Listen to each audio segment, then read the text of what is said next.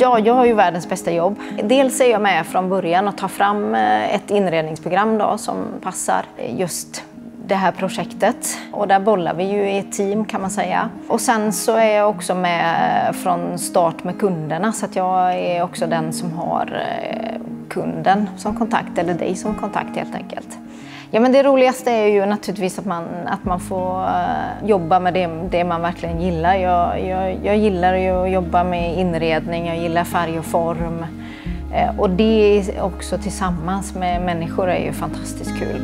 När du kommer så här långt, så du har tecknat ditt avtal eh, hos Riksbyggen, så vill du ju sätta din egen prägel kanske på din bostad. Och då börjar det med att vi har ett Eh, inredningsmöte där alla som har köpt lägenheten kommer då och får se vad vi har tagit fram för inredningsprogram just för Munkebäcksäng.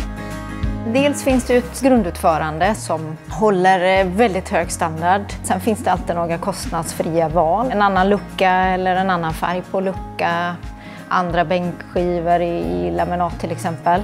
Så jag tycker man ska känna sig väldigt trygg med grundutförandet i projektet för att det är bra kvalitet och det är hållbart över tiden också. Men sen vill man ju kanske också sätta sin egen prägel på eh, lägenheten och då finns det också tillval att göra. Man kanske har drömt om ett grönt kök eller en stenskiva i köket eh, och då kan man göra det tillvalet. Vi berättar också lite grann om vårt webbaserade inredningsprogram. Tillvalsportalen heter det. Så där går man in och loggar in för sin lägenhet så får du upp en bruttolista på de eh, valen du ska göra för just din lägenhet. Så att eh, man ska kunna slänga sig hem härifrån mötet och eh, sätta sig i sin soffa i lugn och ro och göra valen då. Så det är ett väldigt enkelt program.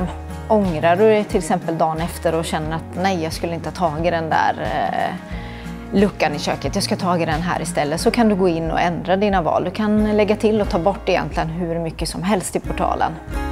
Ja, det är ju jättespännande och just se också när, när man kommer dit första gången. Vi har ju alltid någonting som vi kallar för tjuvkik.